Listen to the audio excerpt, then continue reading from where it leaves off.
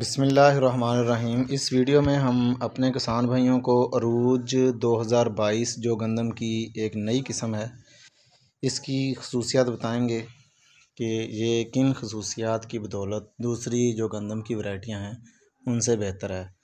اور دوسرا، اس ویڈیو میں ہم آپ کو یہ بھی بتائیں گے کہ ہم عروج کی زیادہ سے زیادہ پیداوار کس طریقہ سے حاصل کر سکتے ہیں۔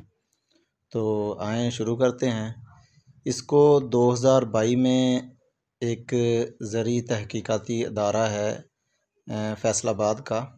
اس نے بنایا تھا۔ اس کی جو ہم فی ایکڑ بیج کی مقدار ہے، وہ پچاس کلو گرام ڈالتے ہیں۔ عروج دو ہزار بائی کا جو وقت کاشت ہے، وہ یکم نومبر تھا پندرہ نومبر ہے۔ تو دوسرا، ہم اس کو کن کن علاقوں میں کاشت کر سکتے ہیں؟ پنجاب کے تمام میدانی اور آبپاشی علاقے جو ہیں، وہ اس کی کاشت کے لیے موزوں ہیں۔ پودے کا جو اس کا قد ہے، وہ درمیانہ قد ہے۔ اٹھانوے تا سو سینٹی میٹر اس کا پودے کا قد ہوتا ہے۔ سٹے نکلنے کا جو اس کا وقت ہے، وہ تقریباً کاش سے پچانوے سے سو دن تک کا ٹائم لگتا ہے۔ اسے سٹے کا رنگ زردی مائل ہوتا ہے۔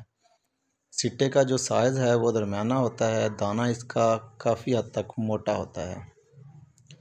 اس کی جو فصل ہے، اس کا کل ٹائم کل دورانیہ ایک سو چالیس سے ایک سو پنتالیس دن کا ہوتا ہے۔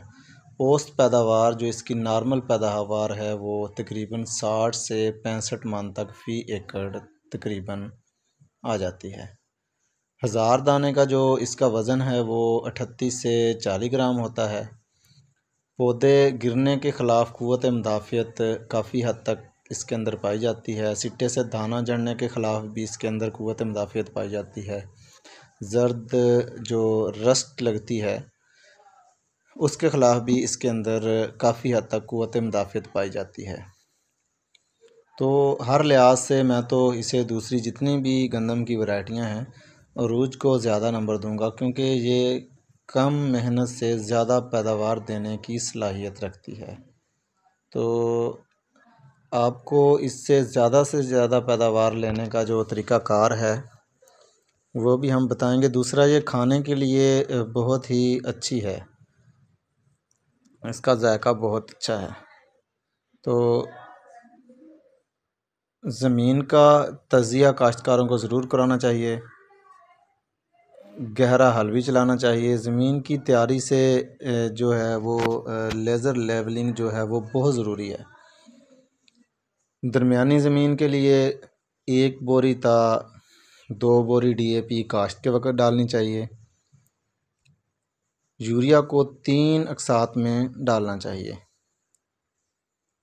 تصدیق شدہ بیج کا استعمال کرنا چاہیے۔ پھپھوندی کچھ زہر جیسے بائر کا ہومرے ہے، وہ دو گرام فی کلو گرام بیج پر لگانا چاہیے۔